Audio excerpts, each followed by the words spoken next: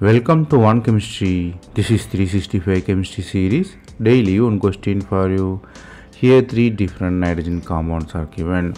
One is six member ring with nitrogen and diketone. Another is cyanide attached diamine system and five member imidazole system.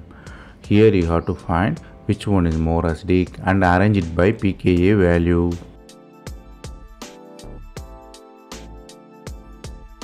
Acid means the compound donate H plus it become anion. More stable the anion, more will be the acidity.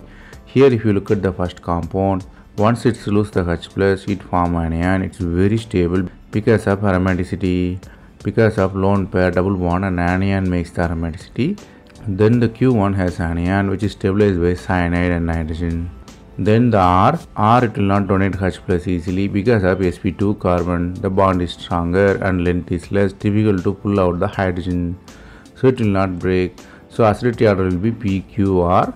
So pKa order will be reversed which is PQR.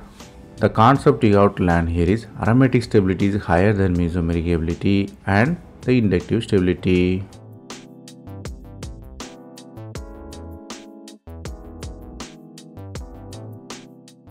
That's all from this video. Thanks for watching.